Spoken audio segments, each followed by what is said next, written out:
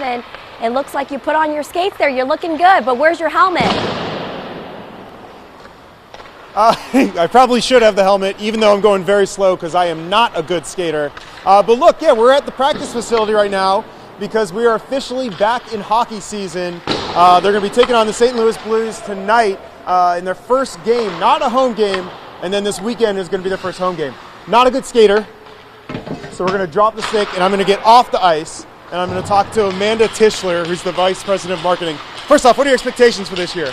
Extremely excited for the season. We have lots in store, fun promotional nights for fans, and just encourage everyone to come out to uh, Capital One Arena all season long. So there, there's this new thing for the opening game. It's Rock the Red Carpet. What, what is that? Yes, Rock the Red Carpet. So the team will be walking the red carpet um, anticipation of the game, looking sharp. We encourage fans to come out to F Street right in front of Capital One Arena just to prepare for the game in advance and just get excited. So it's for, for autographs and photos with everybody. Yep, yep. They'll be interacting with fans. Um, the players will have escorts, so a lot of great content um, and follow along Caps on social as well if you can't make it there in person. You can't make up the drama where the Blues won it last year, the Caps the year before that, and they're going to be facing each other in the first game. It's kind of exciting. Yes, it will be good to see the past two Stanley Cup champions face off, and we'll see what happens tonight. And then the home opener against the Carolina Hurricanes on Saturday, so it'll be a good way to kick off the season. All right, thanks so much for talking with us. And uh, I'm going to go back on the ice. I'm going to try not to get uh, knocked out by these uh, this hockey these hockey players that are out here.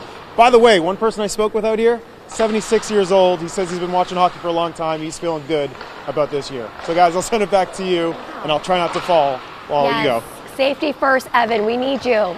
Have fun out there. Cross our fingers he does not fall.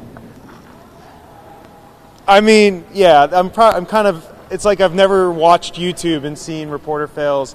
Uh, let's hope that doesn't happen here. It is the big day. We get to dust off the skates. Hockey season is back. It's, uh, it's upon us. They're going to be taking on St. Louis Blues. I'm going to try to ask Paul a question here on the ice. You, you uh, because how old are you, Paul? 76.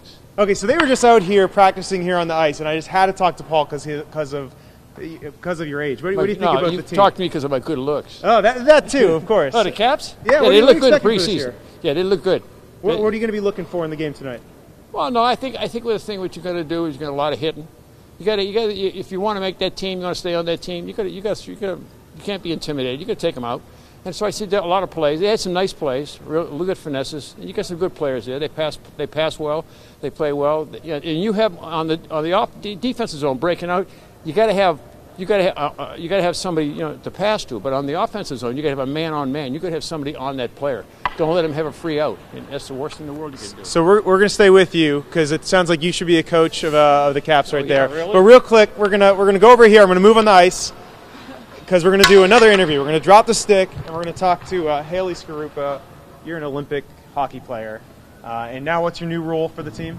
I'm here representing the Capitals as the uh, hockey ambassador in the youth hockey department. So, super excited to start here and really excited to get the season underway real quick, in about five seconds to ten seconds, what does that mean to be an ambassador? Uh, working with various like youth hockey and community re- relations initiatives within D.C., Virginia, Maryland, with girls. Specialty for my specialty will be in like the girls, but also boys as well, um, and just growing the game in this area.